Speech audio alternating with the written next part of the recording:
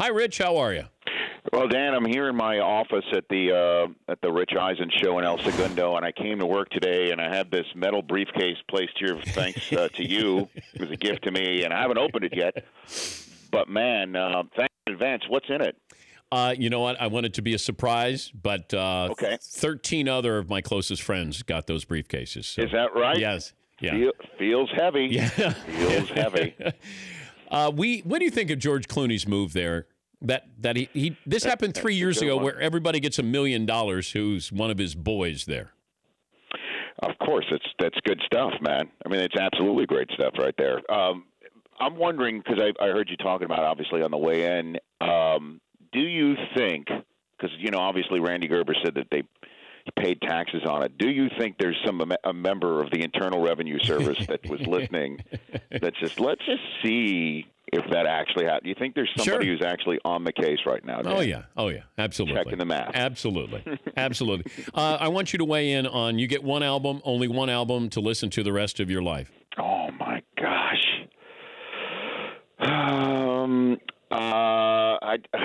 So I'm gonna go one with volume. Um. I'll go White Album. Okay. Well, it was So taken a- by me, but it's, Oh really? yeah, it's Did you say that? Yeah. I didn't know that. Yeah. I- honestly, that I did not know. You must have talked about that in the first hour. Yes, I did. Um. How about Joe Walsh's greatest hits? No, you How can't do that? greatest hits. Why not? I got rules here, Rich. I didn't get the fine print. I man. I, just got this briefcase. That's all I've got from you here. We got standards here. You can't do a greatest hits compilation, Oh, and man. the White Album's already taken. Well, I had no idea that the White Album was already taken. Um, how about Born in the USA then? You- Springsteen. That's you can have that. That's yours. Thank you. Yeah. Sold. I will take that. Did you interview. Springsteen when he was the I did. Have halftime? How was I that? did. It was great. I mean, it's royalty, man. Uh, he didn't know much football. Um, you know, uh, the, uh, the the the halftime act that I've been fortunate to interview that knew the most, believe it or not, that blew me away was Mick Jagger for Super Bowl 40 in Detroit, and he actually knew.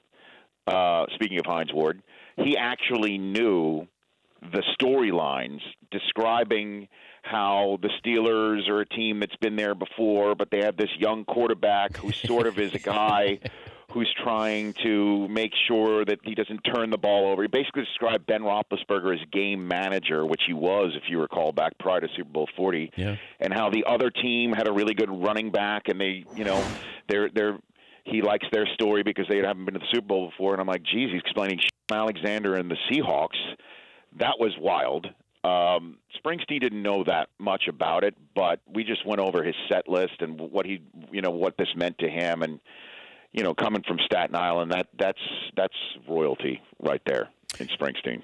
Yeah, I'm thinking, you know, he's a Jersey guy that that he'd be brought. I know he's a Yankee fan, but I'm surprised he didn't know, didn't follow the NFL. Yeah, he, he's not in a fa- he wasn't in a fantasy league with the big man, you know.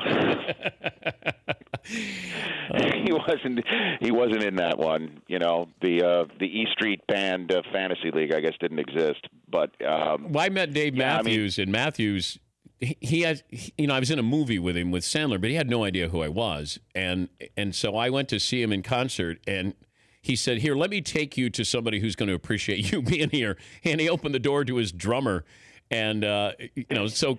I, I, I, I spent all he goes he goes uh, yeah hey uh, Carter I got somebody to see he opens the door and Carter goes hey Dan Patrick and then Dave Matthews goes oh so you know who he is all right you guys can talk because Dave Dave Ow. Dave had no, he had no game. He had he couldn't even fake it. He's like I, I don't know any sports here. I don't. I don't know anything. Berman Berman never got that treatment as Huey and Lewis. Never got that. No, no, he did not.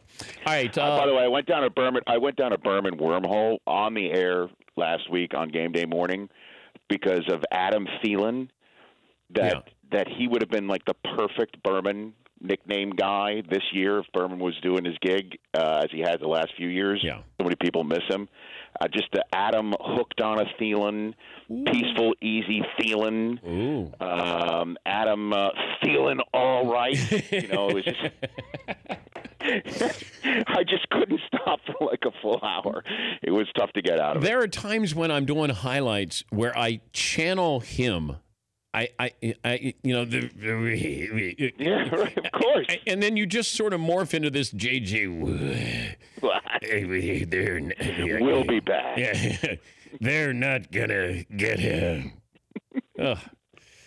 I don't think I don't think this new generation, if you're under 35, understand the the, the impact of Chris Berman on highlights. oh, no no doubt about it. Yeah. I, I, you know, and, and Dan, in a way, okay, you know what you're doing on Sunday nights on NBC is that's you know that's prime time. Yeah. I mean that's that's what, and it's great to see, and I, I think, and you know, NFL Network has a uh, a show as well. We're doing highlights. Um, you know, I used to do that before the morning, but I still think a highlight-driven show with intelligent conversation laced in is I don't know if I don't know if I'm a dinosaur, but I don't know why there's not enough of those on TV anymore. Just assuming you're going to see it beforehand, you're yeah. seeing it on Twitter, you're seeing it online and it's not worthy of just sitting down for an hour and creating a television show that's entertaining, that's highlight driven. Uh, I miss it. I really do. Well, also, we made a conscious effort to.